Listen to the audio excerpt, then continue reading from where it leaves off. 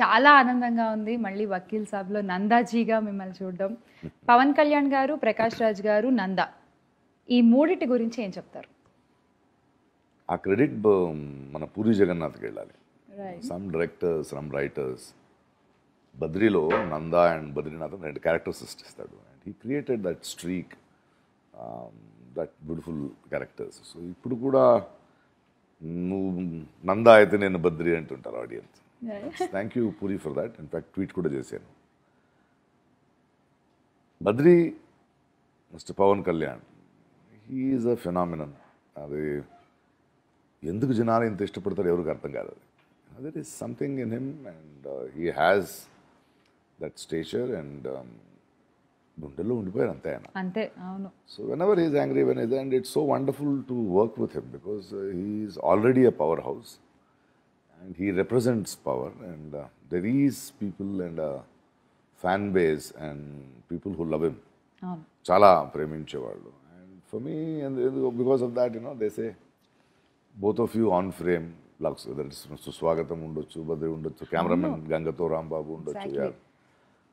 జల్సా ఉండొచ్చు and this is my fifth film with Vakeel Saab Vakeel Saab right it was always joy to work with powerhouse like so అంటే you are seeing him from the struggling age అంటే అప్పటి నుంచి మీరు చూస్తున్నారు ఆయన్ని? Suswagatham is his beginning of career అంటే ఆయన. Career స్టార్టింగ్లో కళ్యాణ్ గారికి సుస్వాగతం. అక్కడి నుంచి ఈరోజు ఒక పవర్ స్టార్గా ఆయన ఎదగడం కళ్యాణ్ వేరు.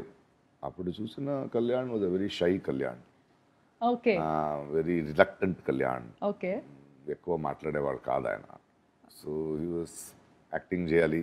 Yes everything was a beginner అప్పుడు చూసిన కళ్యాణ్ ఇప్పుడు చూస్తే ఇట్ ఇస్ టోటలీ మెటమాఫసిస్ ఇది ఒక పెద్ద వ్యక్తిత్వం అయిపోయింది. It is become craze it's something else it is totally of course అప్పటి నుంచి చూసిన వాళ్ళకి ఆ లోపల ఆ షైనెస్ ఇంకా ఉంది.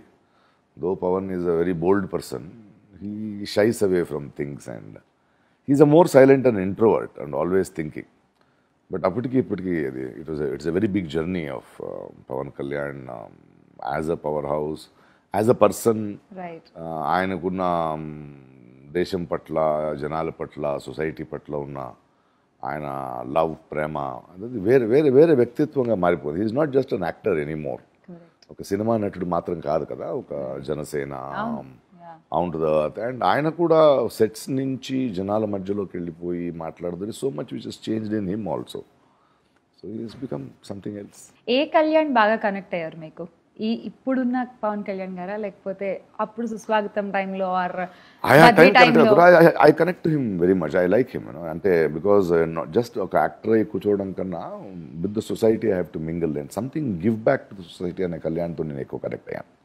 I like his sacrifice I like his decision to come out అంటే సక్సెస్ అయిపోయాం ఇంక రీచ్ అయిపోయాం అని కాకుండా ఎండలో తిరగడం దిగడం మనుషులతో మాట్లాడడం ఇక్కడ విజయవాడ అంటాడు ఇంకెక్కడో అంటాడు మీటింగ్లు అంటాడు ఏదైనా ప్రశ్నిస్తాడు see I like that you know అలా అలైవ్గా ఉండాలి మనుషులు.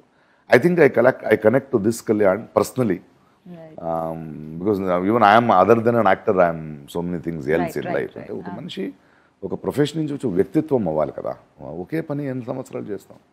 ఆ రకంగా ఒక వ్యక్తిగా ఒక చాలా పౌరుడిగా ఒక చాలా ఇంపార్టెంట్ పర్సన్గా I connect to the power I know now even you're also very social responsible citizen అందరూ ఉండాలండి. అంద- అందరూ ఉండాలి. And people like him make an example ఒక ఇన్స్పైర్ చేయాలి. ఇట్ ఈస్ వెరీ ఇంపార్టెంట్ అంటే ఇవాళ చేంజింగ్ టైమ్స్లో మనల్ని పెంచిన ఒక సమాజానికి మనం తిరిగి ఇవ్వాలి. అది అప్పది.